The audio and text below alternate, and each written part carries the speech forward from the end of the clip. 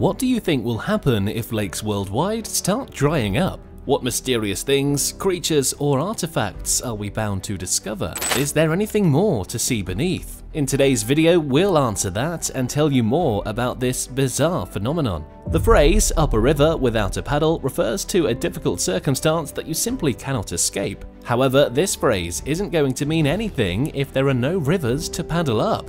From dead bodies being discovered after 20 years to biblical evidence that might tell us when is the end of the world, experts were able to discover so much more after lakes around the world start to dry up. Researchers were initially confused by the alarming rate of water loss, but after further studies, they were able to pinpoint the cause. It turns out that rivers and lakes throughout the US, Europe, Asia, and the Middle East are drying up due to a terrible lack of rain and unrelenting heat waves. Many are getting smaller in length, width, and depth. Because of this, exposed riverbeds had become normal, and at some point, some lakes were unrecognizable. However, on top of these maddening events, experts are discovering tons of hidden objects from these lakes. Let's explore them today. So, why are lakes drying up? There had been countless studies to address the issues, but at the end of the day, scientists would point their fingers at one perpetrator or another. According to scientists, the lack of precipitation and droughts is causing water bodies across North America to dry up.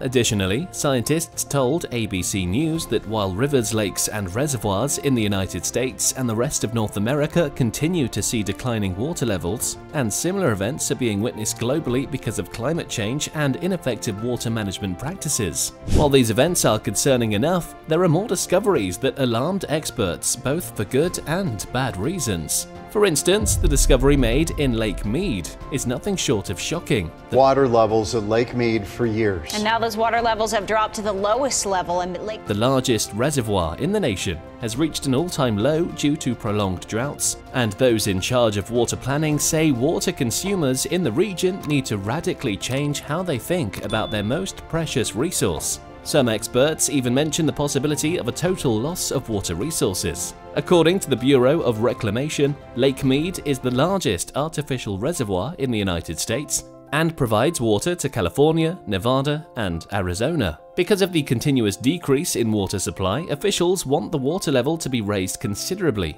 over 1,075 feet above sea level. Sadly, if it stays below that elevation by the end of the year, Arizona, Nevada, and Mexico are required by the treaty to reduce their water allotments, which will greatly affect the lives of many residents in the area. Getting back to the terrifying things that were discovered on this lake, something, or specifically someone, was found. 20 years after he went missing in the lake, resident Tina Bushman heard that the remains of her father, Thomas Erndt, had been discovered. This is extremely out of the ordinary. While most people will find themselves coffee makers, boat debris, or a watch, a dead body is definitely not on the list. If you think this is bad enough, then think again. What has made headlines lately are some more horrifying findings. This was after the remains of five people were found in dried up lake beds between May and August of 2022. The National Park Service reported that earlier in the same month, a diver discovered additional human remains in the lake.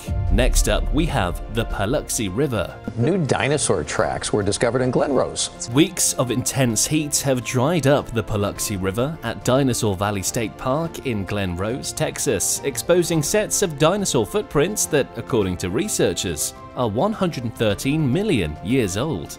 According to Stephanie Garcia, a park spokesperson, some were from an animal known as Acrocanthosaurus, a three-toed bipedal carnivore that resembled a somewhat smaller Tyrannosaurus rex. It would have grown to be roughly 15 feet tall and 7 tons in weight if it survived. This was not the last discovery made. Another set of footprints was identified and said to be from the Sauroposeidon, a four-legged long-necked ruminant that was roughly 44 tons in weight and reached a towering 60 feet tall. Even though dinosaur tracks aren't extremely uncommon, they are significant to researchers because they reveal information about the creature's lifestyles. It's surely a field day for researchers, especially after pictures of the footprints circulated. You can clearly see the size, shape, and direction where these dinosaurs from the past were headed before they were gone forever. The water in the Yangtze River in China is also flowing very low. Water levels began to decline in August 2022 due to the biggest drought China experienced. In reality, rainfall in the Yangtze River Basin was actually 45% lower than it was in July, which made the situation worse.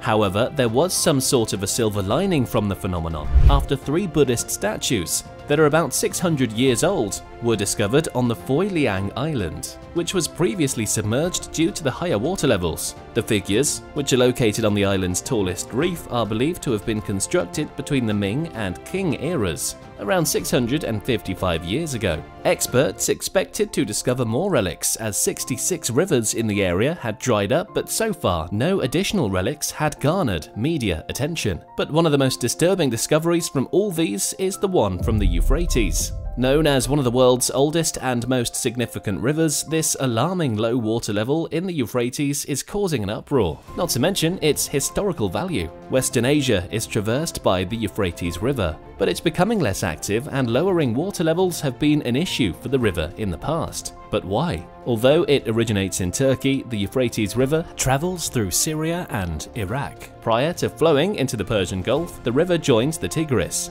Its length is around 1700 miles and the average area of the basin is 190,000 square miles, making it one of the longest rivers in Western Asia. Since there is greater rainfall and melting runoff through the months of April to May, there is usually a higher water level this time of year, but things had been very different recently. While there is still some of the original vegetation along the river, the existence of other flora and trees along its shoreline is not enough to combat the inevitable. Why is that?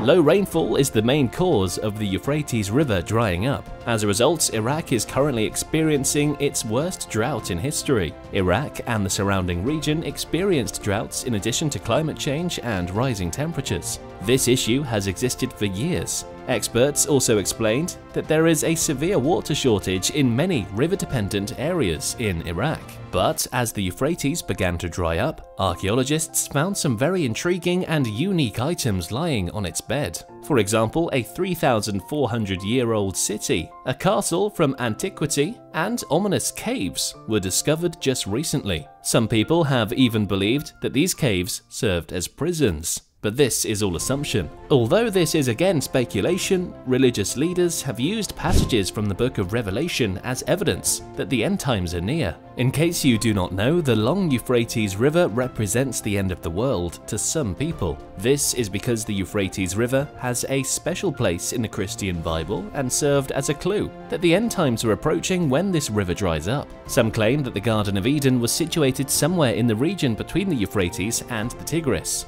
and what will happen when the world ends are predicted by this. Adding all these biblical assumptions, the people who live close to the river and depend on it for water and agriculture are in distress. As climate change continues to intensify, more rivers and lakes around the world will surely dry up. If this continues, not only the people around the Euphrates will be affected, but the entirety of the world's population. It's a no-brainer that the future of these waterbeds solely depends on us. And as the drought persists, we should get ready. Who knows what else we can find in the deep surface of our waters? What do you think about these discoveries?